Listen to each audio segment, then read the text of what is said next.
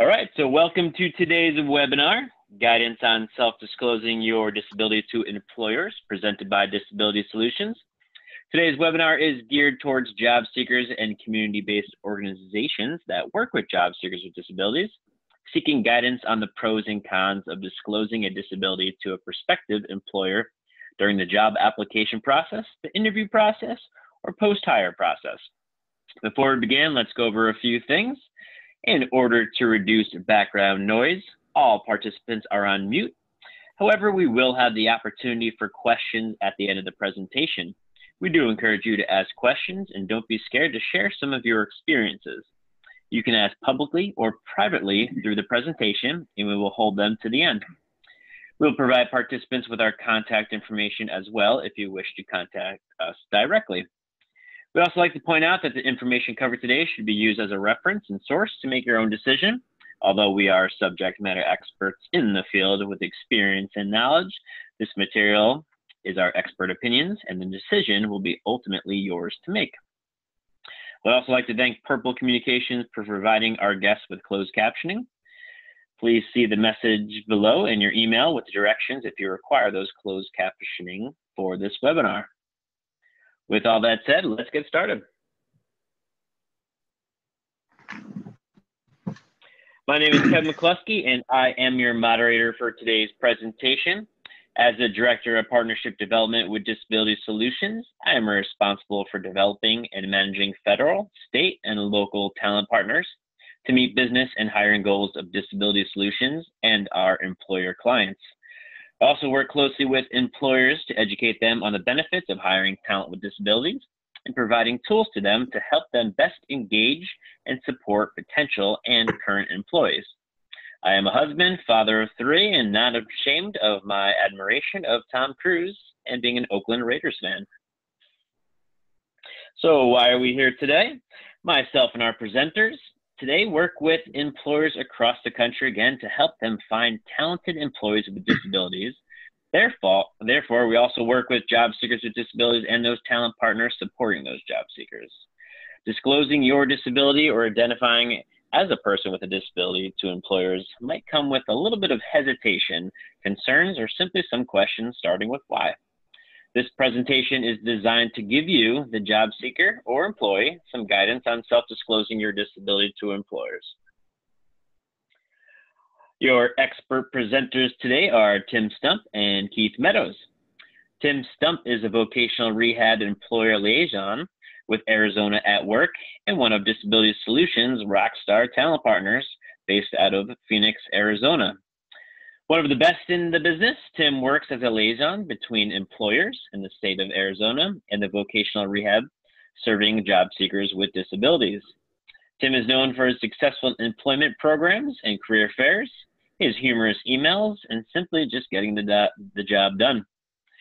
When he has some free time, Tim does enjoy collecting pinball machines. On your right is Keith Meadows. He is a hiring and engagement consultant with Disability Solutions.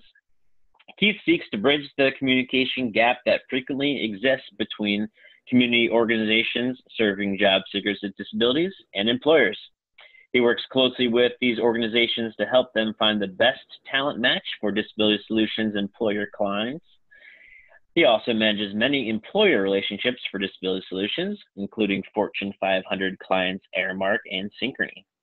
He also conducts corporate disability fear and stigmas trainings nationwide, advocating the business value and talent value of employing individuals with disabilities. Keith also enjoys bragging about his published articles on the employment of people with disabilities and collecting autographed sports, sports memorabilia. So, a little bit about Arizona at Work. They are a statewide workforce development network that helps employers of all sizes and types recruit, develop and retain the best employees for their needs. For job seekers throughout the state, they provide services and resources to pursue employment uh, opportunities. By developing their state's workforce and matching employers with job seekers, they strengthen Arizona's economy. Tim's department, the Vocational Rehab Program, provides a variety of services to people with disabilities, and the ultimate goal is to prepare them, enter, and retain employment. A little information about Disability Solutions at Ability Beyond. Our parent company, Ability Beyond, is a nonprofit based out of Connecticut in New York and has provided services to individuals with disabilities for over 60 years. Disability Solutions was created roughly seven years ago as a consulting arm of Ability Beyond to help employers implement successful hiring initiatives to attract, hire, and retain talent with disabilities. Our clients across the country include Pepsi, Staples, Synchrony, Aramark, Aon, and more. Our motto here at Disability Solutions is changing minds and changing lives. We like to change the mind of employers through education, success stories, and proven methods, which results in the changing of lives of job seekers with disabilities, turning into successful employees. Disability Solutions also has a career center matching job seekers with disabilities to employers looking to hire talent with disabilities. You can visit disabilitysolutionstalent.org to see more job opportunities. We're going to go with our first poll question today. Uh, I am, this is you, you are a job seeker or employee concerned about disclosing your disability? Are you a job seeker employer needing an accommodation? Are you a career coach assisting job seekers with these decisions or other? Going to launch it now. Poll has been launched. You'll see it on your screen. If you could just click and answer, give you about 30 seconds or so.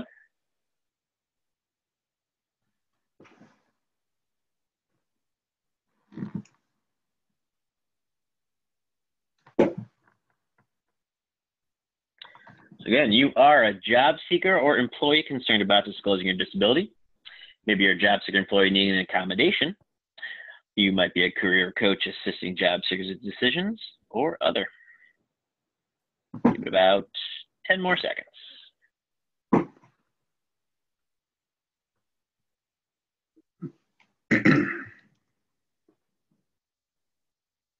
All right, going to end the poll now.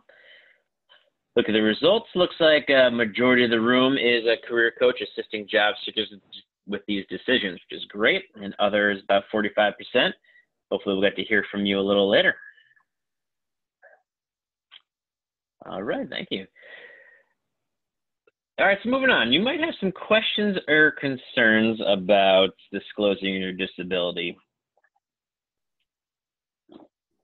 Uh, so here's here's some questions and concerns you might have. Um, there's there's different types of disclosure and self-identification as a person with disability. Um, we're going to go over: Do you want to disclose? Is it important for you to do so? Should you disclose? Who should you disclose to? How much of your disability should you disclose? What are the benefits of disclosing? What are reasonable accommodations? And we want to remind you that you can't undisclose.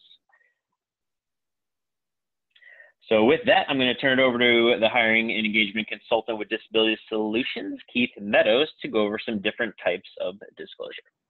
Keith? Thank you, Kevin, and thank you everybody for joining today.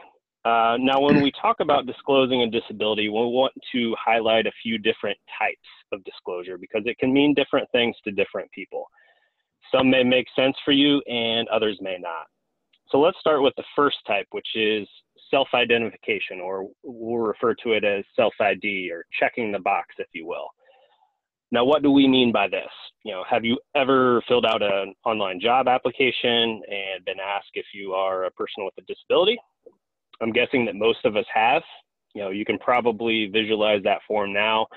The one that asks you if you want to check yes or no, or I do not wish to answer we get asked this on applications and we also get asked this during onboarding paperwork, usually on our first day on the job. You know, why do we get asked this and what happens to this information? Most job seekers we work with think that this information immediately appears magically on the hiring manager's desk and they will know right away, first off, that they are a person with a disability before they even look at their resume. This is actually a pretty common myth uh, and it's and it's also not true.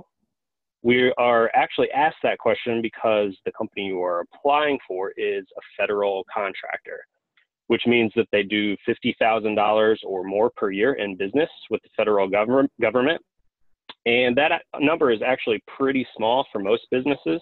So a lot of companies are federal contractors, um, even more than we traditionally would think.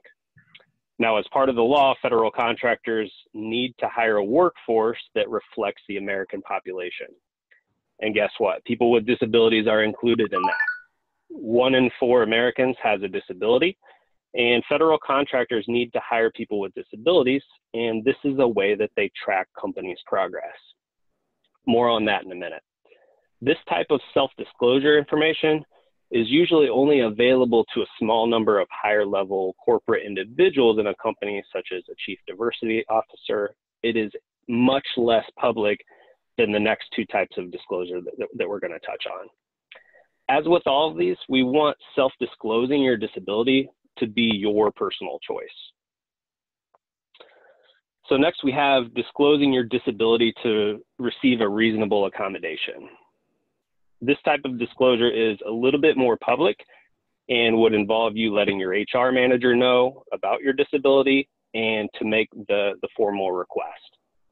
You don't have to get incredibly specific with your diagnosis unless you receive that request from uh, your HR. For instance, let's say you're a person who's visually impaired and you need a screen magnifier for your computer you could simply let them know that you are visually impaired rather than letting them know your specific diagnosis, prognosis, symptoms, um, anything of that nature. You can start general and get a bit more specific based on what additional information your human resources uh, department would request from you. This one is important because a lot of employees feel ashamed and embarrassed to request accommodations and some so much so that they will actually leave the job rather than make that request. And also on the flip side of the coin, some human resource professionals are absolutely terrified to get that accommodation request. So there's a little bit of fear of both sides, but mistakes on both ends can cost employees and companies money. So this is an important disclosure also because most accommodations end up being free or costing very small amounts of money.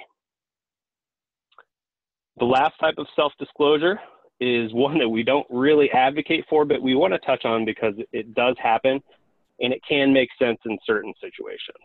You know, we, we call it here public announcement, uh, but what we really mean by that is that you're comfortable enough in your workplace and work environment that you start letting coworkers and friends know that you have a disability and maybe you develop into a disability advocate.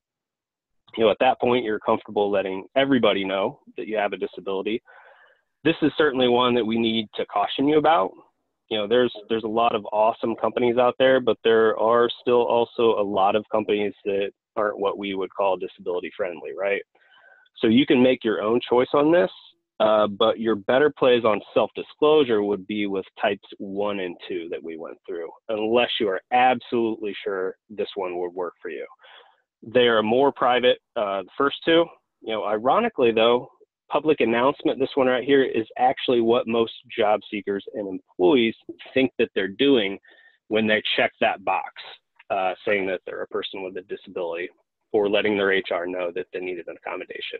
And we felt it important to break these out for you to draw some distinctions between the three.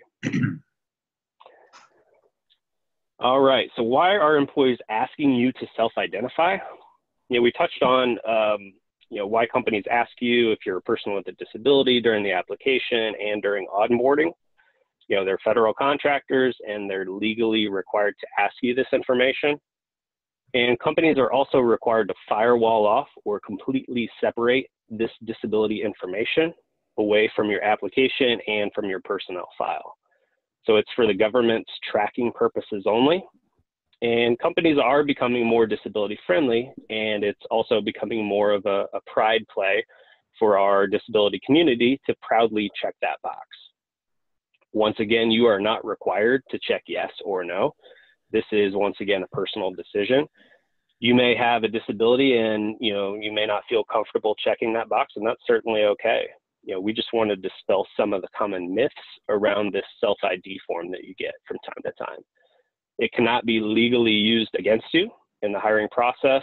And the government actually has an agency tasked with auditing companies to make sure that they are hiring people with disabilities. You can see the logo on your screen there. It's called the OFCCP, uh, which is short for the Office of Federal Contract Compliance Programs. And this is where that check yes or no information about having a disability comes into play. So if companies don't have many people who have disabilities working for them, they can face fines from this organization and they can also face some very negative press. So currently 7% of each job group uh, at a company that is a federal contractor should be people with disabilities. So let's say you run a, a call center and you have uh, customer service representatives as one of your group. Of all your customer service representatives within that company, 7% need to be people with disabilities or people who have checked yes. So most companies struggle to get even close to that 7%, which is why employers need to be more inclusive and welcoming. Many people with disabilities aren't checking the box because they aren't quite comfortable with disclosure yet. Also, people with disabilities may not be making it through the application or the interview process. Both of these, the OFCCP is able to see when it looks into the company's information on those check yes or no on disability numbers. So let's touch on some of the benefits. First to employers. Um, you know, there are many benefits to hiring people with disabilities if you're an employer. We've highlighted several here. If you are a business leader, you know, one that may speak more powerfully to is the higher retention rate. We've seen this play out in real life with all of our corporate clients that we work with. You know, on average, we have about a 14% higher retention rate than the company's average. Our case studies are not unique on this, and we've seen this play out all over the country. You know, this means that you're interviewing less, you're spending less money on turnover. You may ask yourself, why is the retention higher? In many cases, if you think about it, you know, a person with a disability is, is pretty battle tested in the game of life, right? They've often had significant hurdles to overcome to even think about employment. They've faced discrimination. They've learned alternative ways of accomplishing tasks, and they've developed unique and valuable viewpoints. You know, people who are battle tested in life usually translate into great employees as well. So someone who had to work harder to gain employment is less likely to let that go very quickly, right? And people with disabilities can also do any job, entry level all the way to CEO. Uh, those who think otherwise are really perpetuating the stereotype. And people with disabilities also cut across every different ethnicity and diversity group. There is no group unaffected, and one in four Americans has a disability. So oftentimes we talk to companies who are looking to increase their diversity hires, and you know they kind of view disability as kind of this separate uh, off to the side group, and really there is no group that isn't affected by disabilities. So we want you to keep that in mind. And I believe benefits to disclosure. Kevin, did you? I'll pass it back to you for this one. Thank you, Keith. All right, so benefits to disclosing. So there are there, there are pretty much many benefits to uh, disclosing, and an employee as a major benefit to disclosure is that you can get an accommodation that you need to perform the job. Rather than trying to tough it out or either leave the job or get fired, if you know you need an accommodation related to your disability that would help you perform, put that request in. People who disclose their disability actually stay on the job longer, and uh, Tim will get to that a little bit more in a bit. You can also help decrease some of those myths and stigmas, decreasing some of those myths and stigmas typically associated with people with disabilities. Some companies tell us that there are not people with disabilities working for them. Laws of averages show that is untrue. Again, one in four people in America have some type of disability. It just doesn't go away with one company or a company company by basis. But having honest conversations about disabilities can help with inclusion in a culture. So once again, it boils down to a personal choice. So let's throw it over to Tim Stump, our wonderful, great community talent partner in the wonderful state of Arizona. Tim? Thanks, Kevin. Um, so um, you have to ask yourself, do you want to disclose? So there are many things to, to keep in mind. Uh, number one is disclosure is a personal choice. So it's up to you whether you want to disclose or not. And you have to ask yourself, what are you looking for by disclosing? Um, do you know what accommodations are needed to perform uh, the task of the position? Um, we have a job coach with you at any point. If you're going to have a job coach with you, basically that the fact that you have a job coach has disclosed for you. Um, do the other circumstances disclose for you? Um, I uh, job coach in an interview, a uh, interpreter. Um, the fact that you know as soon as you walk into the room, you're going to have a visible disability, and the employer is going to know. Um, so make sure your clients, if you're a counselor or a job coach, make sure you give your clients informed choice. Let them know the benefits and the drawbacks of disclosing and, and when to disclose and how to disclose and, and if they're going to disclose what it is that they're looking for in terms of accommodations, um, that kind of thing. Next. Okay. So should you disclose? Uh, you have to ask yourself, do you have a visible or invisible disability? So visible disability is a disability that employers are going to be able to observe as soon as you walk in. Uh, if you walk walk in and you have a wheelchair, or you have an interpreter, um, or you've got a cane, or a, a, a guide dog, they're going to notice. So all of a sudden, you have to ask yourself if you haven't disclosed to that point, which you can still not disclose. Uh, you don't even have to tell them when they see that. But at that point in time, they might be focused more on the wheelchair or more on the service animal than they're focused on what you have to say. Uh, so an invisible disability is one that might go unnoticed by an employer. Maybe they'll never know. Um, maybe you have uh, depression and they'll never know that you have a disability unless you need to um, ask for an accommodation later on. So when will you need accommodations or will you need them at all? So will you need them for the interview? Will you need them for training? When will you need them for on the job? Uh, next. So to whom do you disclose? Uh, I find human resources is usually the best choice to disclose. Uh, they usually have a lot of uh, experience with accommodations. Since they're working with a lot of people within the company, they know how um, those accommodation requests have been handled in the past. Um, do yourself know what the um, accommodations needed? You know, you need to remember that employers know how to make things or provide services. They're not experts on disability. Uh, sounds like we actually have a lot of experts on disability on the call today. So that's that's our job to know about that. An employer, uh, their job is to to make things, is to sell things, those kinds of things. They're they're not in the business of of disability or accommodations. So uh, I also find if you have an invisible disability, a lot of times disclosure is best after getting the position. So at that time, you've already gotten the position, you can ask for the accommodations, and uh, you're a little bit more likely sometimes to have gotten the job in the first place. Next. How much to disclose?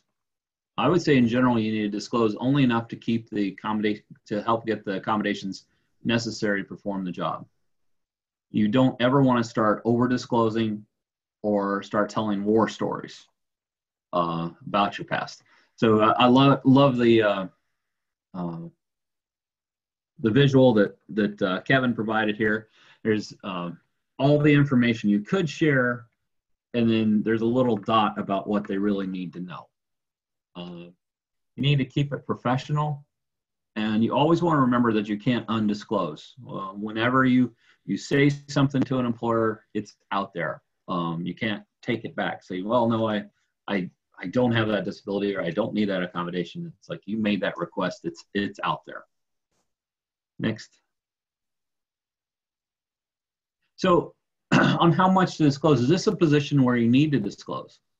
Uh, peer support positions, um, it seems like they've changed over the years, uh, and you might need to disclose. You might need to have a, a lived experience.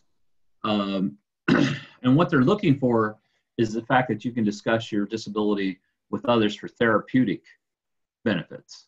Um, and they want to make sure that you're not going to be triggering their clients. So uh, maybe you've got uh, PTSD, because you lived with an abusive spouse and you start talking about what you went through and how you got beat so bad you had to go to a hospital and you're talking to uh, a client and that triggers them it's like you can go ahead and express that you've lived through something similar to help them therapeutically without triggering them. You don't have to go into the war stories once again.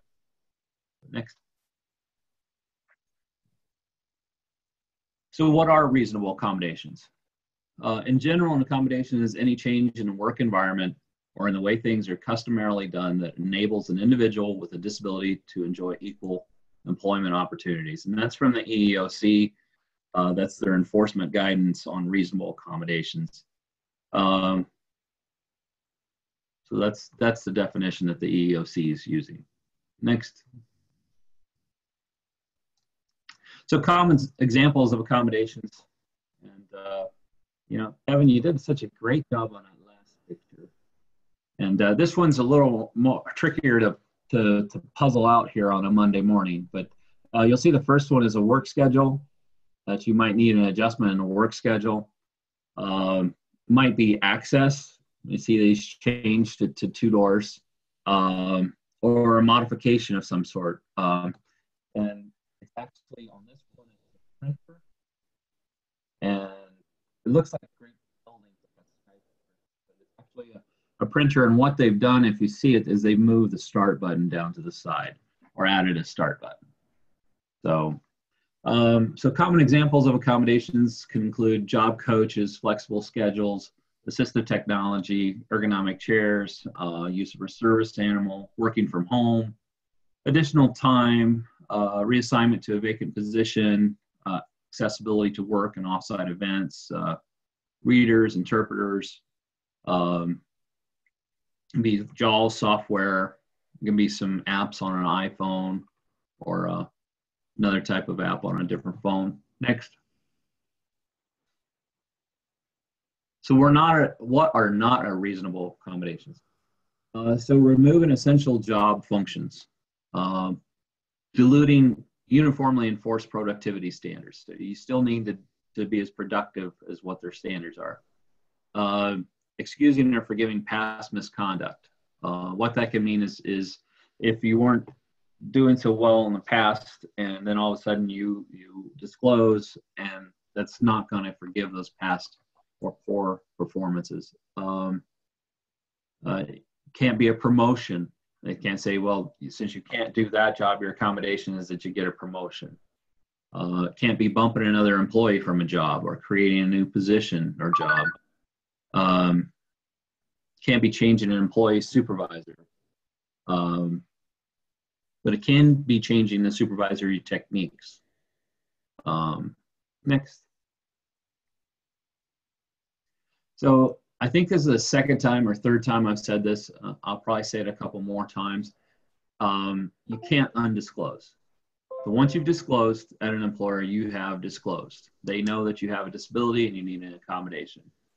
Um, so that one person, like if you go to HR, that person will know they might have to tell other people that you have a disability or what accommodations you need. Uh, and I would say discrimination, uh, although I've been in this business now 17 years, uh, it's a lot better than it was in 2002. Uh, discrimination is still out there. Uh, and also, I think a lot of times, not just discrimination, but um, going back to if you have a visible disability and you walk in to a place uh, for an interview and they see um, a service animal, all of a sudden the employer is focused on that. It's not even a discriminatory thing. It's they're thinking more about the dog than they're thinking about what you have to say. That's that's sort of more of a human nature kind of thing. Um, so another possibility is people might look at you differently. However, one good thing is once you've disclosed, you're protected by the Americans with Disabilities Act. Next. Oh, good. So, right. um, yeah. Kevin? Yes, that, that really concludes some of the content section of our webinar today. Uh, again, as, as I said in the beginning, we will have some time for some questions. Uh, just want to let you know Disability Solutions does have two upcoming webinars geared towards job seekers and talent partners that serve job seekers with disabilities.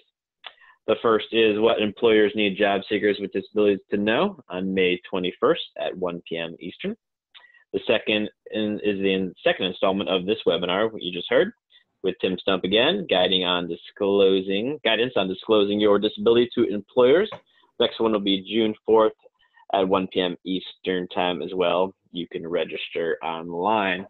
Uh, before we get into the Q&A section, um, Tim, do you have any good experience about um, you know, any any success stories of, of working with job seekers who disclose disability for an accommodation or anything like that? Yeah, I I, I do think that, uh, and we probably should add a slide on this about the benefits of disclosure. Um, it, well, for one thing, um, people who do disclose tend to keep jobs longer. I also think that there's a lot of employers now who are actively recruiting people who have a disability um, one of the better ones I, I, think of here locally is, is, Synchrony Financial that you guys have been working with. They've hired well over 30 people uh, knowingly who had a disability. Um, you know, I think of some other companies who who are doing that as well. Uh, not to mention, you know, the AbilityOne contractors um, that are out there. We've got one here, a large one that's employing 300 people. Um, you know, I think more and more companies are reaching out. Um, I think one of the main problems that, that we have, um, our clients have, is they haven't been working. So an employer looks at their resume or their application and they see that they have not been working for the last few years. Uh, so they don't hire them. And it doesn't have to do with the disability. They don't even know they have a disability because I think a lot of our clients don't disclose. It has to do with the fact that they haven't been working. So I've had a few employers that I've been able to contact and let them know, hey, you know, this person hasn't been working because of their disability, and they've made sure that they've gotten in for an interview. Excellent. Thanks, Tim. And so this is, this is Kevin with Disability Solutions. Again, we work with employers across the country. And one of the first things we do when we, we kick off a project with them is uh, dispelling fear and stigma training for their HR leaders and their and their leaders in general. And the number one thing that comes up several times throughout the training is accommodations.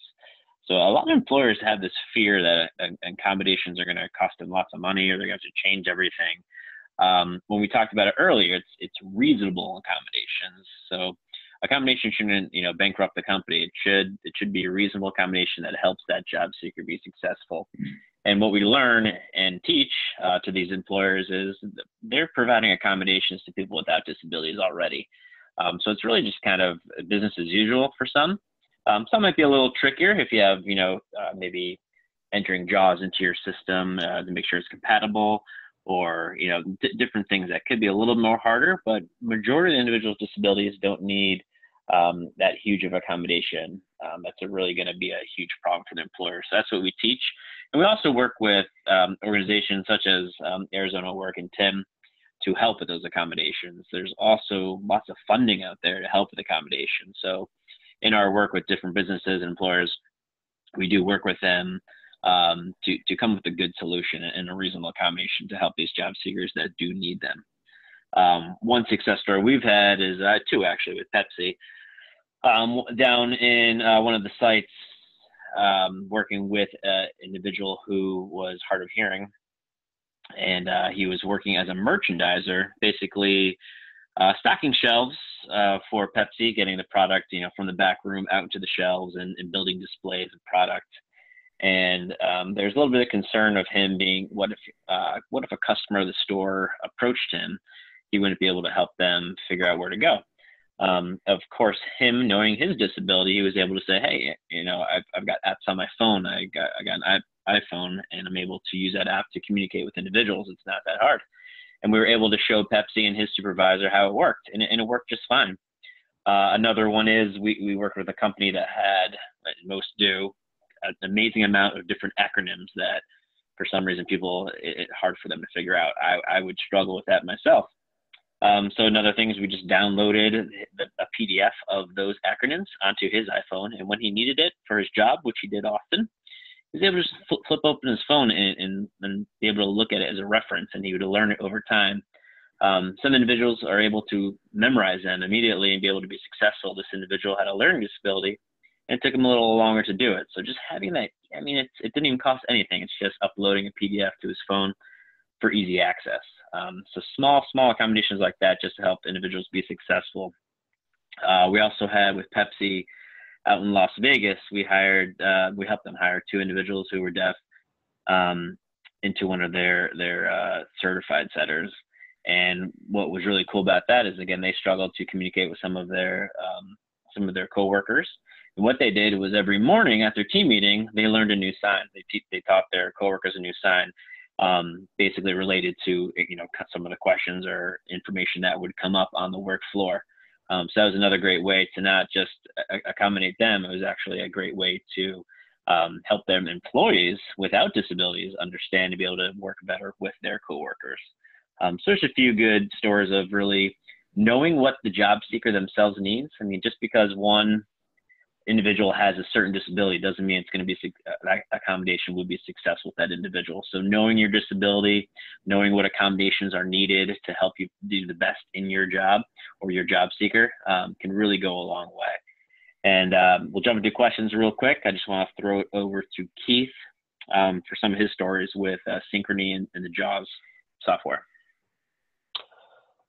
Yeah, thank you, Kevin. I just wanted to, to touch on, you know, uh, you know, a lot of times there's this uh, fear about uh, when we talk to uh, companies about people with disabilities equaling accommodations. And really, as Kevin mentioned, what we do is kind of go through uh, disability fear and stigma training and you know open their eyes a little bit to like you know what you make accommodations on a daily basis for probably everybody that works for you whether they're coming in five minutes late because they had to drop off their kid or whether they needed to leave 10 minutes early to take care of some other business. Those are actually accommodations um, and that really kind of opens the eyes to um, you know folks in the corporate world. But you know to those job seekers with disabilities out there you know i don't want you to settle. Um, you know, a lot of times people think entry level jobs uh, and kind of lower paying jobs are like where people with disabilities traditionally start. And if you've got the experience and you know you've got uh, phenomenal qualifications, you can do any job that you want. You don't have to apply for a specific you know entry level just to kind of get your foot in the door. It's it's the lowest unemployment in I don't know how many years. Uh, so employers are actually reaching out and they want to find top talent. So don't settle. You can you can actually have your choice of employer. So I encourage you to do your research, do a deep dive on your resume, um, know your qualifications inside and out, and really find an employer that that fits your needs and has a culture that you like. Because uh, we touched on it earlier, some uh, companies are incredibly disability friendly, like Synchrony, and they really value that diversity and the unique approaches uh, that people with disabilities bring into their culture and makes them better as a business.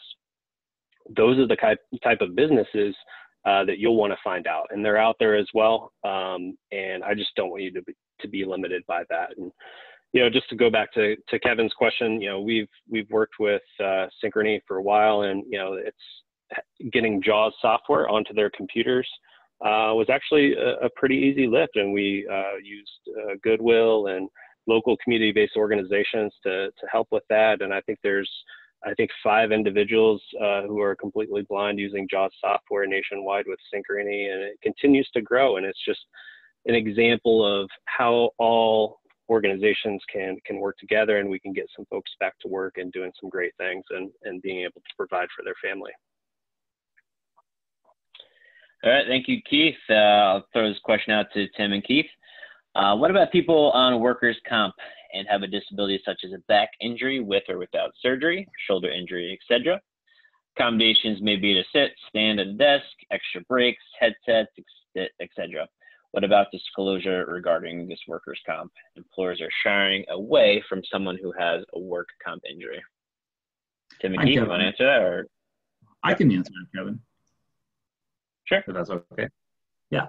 Uh, well, I would say um, going back to the chart that uh, Kevin had uh, painted so expertly with what employers need to know uh, versus everything else, um, I'm not sure that that uh, letting an employer know you have a workers' comp claim is something that they necessarily would need to know.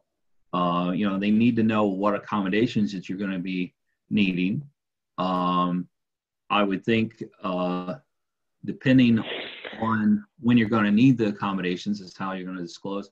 I also think it's different. Uh, while I say some employers are getting great, and I do think that Synchrony is fantastic, I, I would not hesitate for anyone to disclose to them because I think they're doing a fantastic job. I think you're working very well with them. Um, but maybe other employers you wouldn't disclose anything until you actually needed that accommodation. So maybe they need that sit stand desk afterwards. I would have them go ahead and go through the interview process maybe with a company and then ask for it once they got hired. You know, it would depend. Like I said, they might be having trouble finding a job and they might find an employer like Synchrony uh, or another one who's actively recruiting people with a disability that they would disclose beforehand. But I'm not sure that that you know disclosing that they have a, a, a workers' compensation claim would be what they need to do.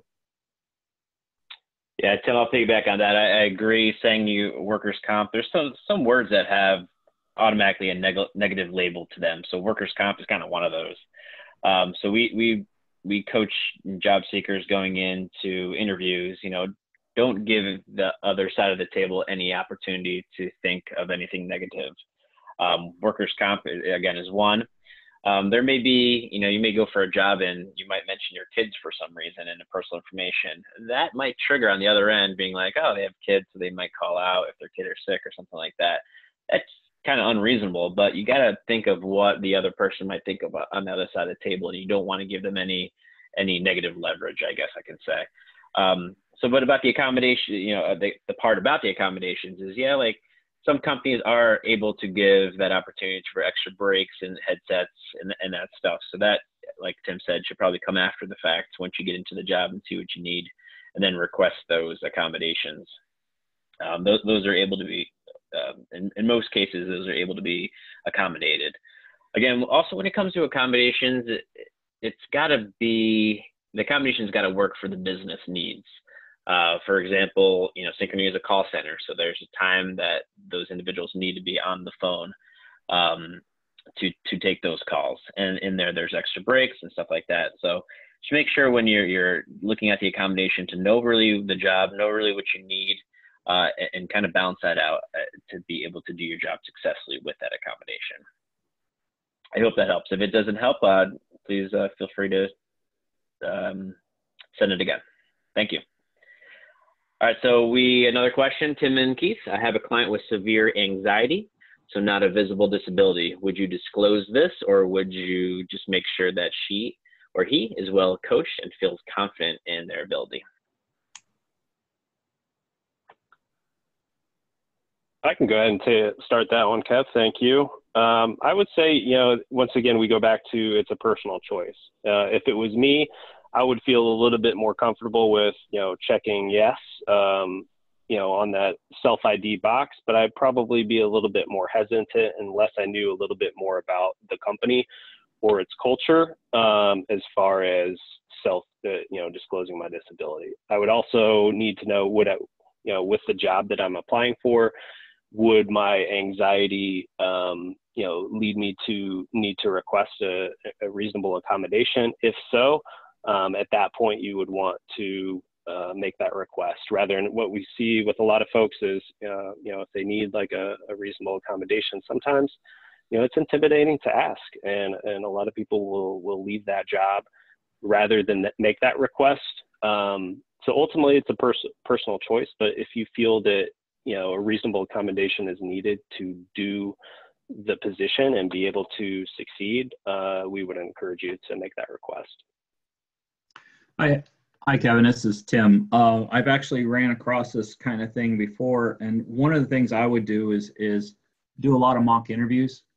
Um, I would uh, start yourself working with your client. I would do some mock interviews, and then I would go ahead and uh, maybe have one of the people in your office uh, do some mock interviews uh, with your client and get them more, you know, as prepared as possible as far as disclosure, I think it would depend on the company. I think there's some companies that, you know, if you're going to disclose to the recruiters and uh, talk to them directly about it, uh, I would say, you know, obviously Synchrony, but I would say, you know, Wells Fargo, Bank of America, Um, some of these other companies, uh, maybe there's some other ones you work with that would be fine, um, so that they could do what what they can that would make somebody feel more comfortable. Uh, interview, uh, maybe it's getting them the questions in advance so that they don't have any surprise questions uh, if they're able to do that, uh, or maybe make sure they have uh, them printed out uh, during the interview. If they can go ahead and have one person interviewing them instead of a panel, maybe that would help. Um, those kinds of things. So. Yeah, and again, finding the right job for the right person. Uh, if you don't like kids, you know, working in childcare is probably not a good fit for you. So, uh, trying to find those right jobs for that individual has anxiety. You don't want maybe a, those stressful jobs that are really hard might not be a good fit for. Again, so finding the right fit for that individual uh, and that certain disability. All right, next question is kind of one we're kind of familiar with if you uh, follow the news in the disability world. Uh, I have a young lady who has worked in a current job for over nine years as a greeter. Job description was recently changed to add on duties of retrieving carts. Consumer has to use wheelchair for mobility and has limited ROF and limited use of her left arm. Can she be given accommodations for that position since she has been doing it already but cannot do the new task? Tim, I'll throw it over to you first. Do you have any insight on that one? Uh, well, I, I think like we were speaking before, essential functions of the position. I mean, the, the, the title of the position is greeter. Uh, that would be the, the most essential function. Uh, every, everything else I think would be secondary. So I think that, you know, she should talk or you should be talking, you know, if, it, if it's okay with your client, if you can talk with her uh, to the employer about uh, getting some accommodation so she can stay on the job.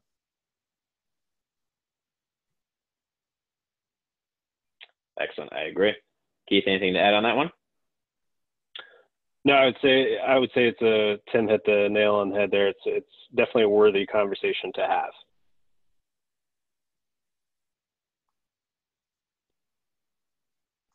All right, we still have about eight more minutes. Any more questions? Please feel free to type them in. Oh. All right, the question is what is the definition of reasonable when it comes to reasonable accommodations? Um, I I think you know they always refer to is it um, an undue financial hardship, and from what I've seen, it's like it's almost never judged to be that. But if you had a small enough business and it was going to cost thousands of dollars, or if it's going to change the very nature of things, if if somebody can't see very well in the dark and you have a nightclub and lighting that place up would not be a reasonable accommodation. So is it going to essentially change everything about that company? Is it going to produce an un- undue financial hardship? One of the things to remember, and one thing I think employers need to think about a lot more is um, that branch manager, that person who's running, let's say, a, a, Wendy's or something, and I don't know for sure about Wendy's, but but uh, probably uh, the the budget for accommodations comes out of that particular location. Whereas if they're getting any type of credit uh, for the work opportunity tax credit, it's coming to corporate. So you have a lot of times a manager that you know they're thinking about how they can buy a new car or whatever with their bonus, and all of a sudden somebody comes in, they need all these accommodations, and they think, well, there goes my bonus, you know, and it's not going to be ruled by the EEOC that it's an undue financial hardship because they're looking at the company overall.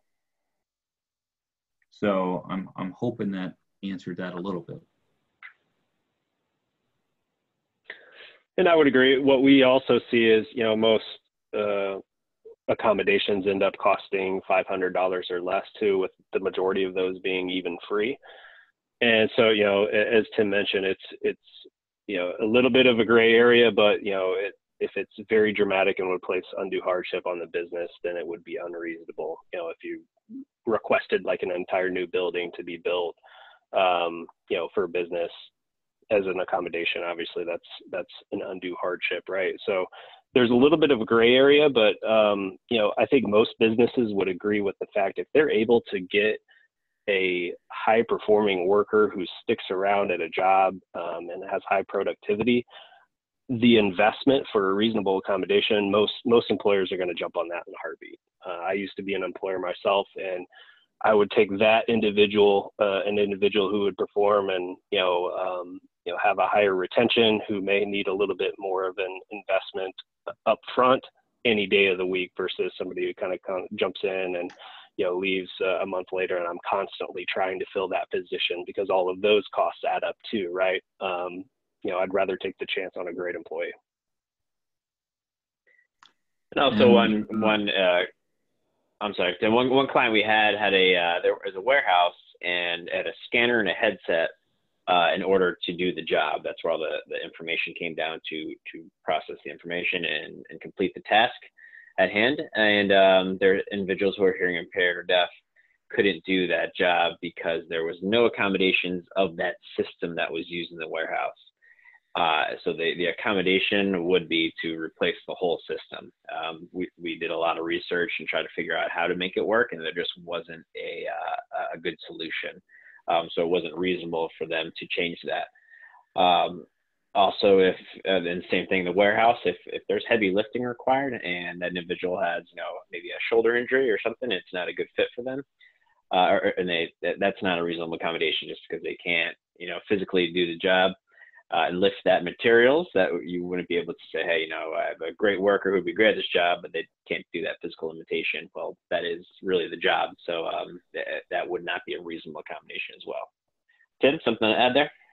Well, I was just looking at the next question. Uh, if we have time to, to answer it, and I, am unfortunately, I, I, think I have to give the answer I give too much, which is yes. Um, the question is, uh, I have a visually impaired client that is losing his job because he has to now transition from ZoomText to JAWS and is not supported on their network. Uh, is this typical of the software or is the employer overlooking ways to accommodate? And I would say yes.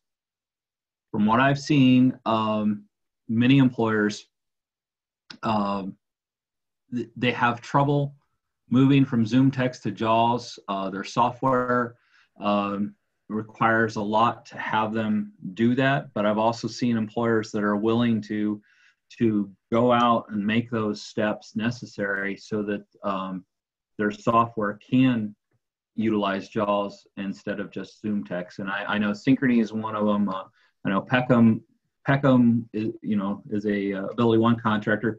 They spent over a year they'd hired somebody and then spent over a year trying to figure out a way to make jaws work uh, so it can work, um, but there are a lot of employers who just sort of draw the line there.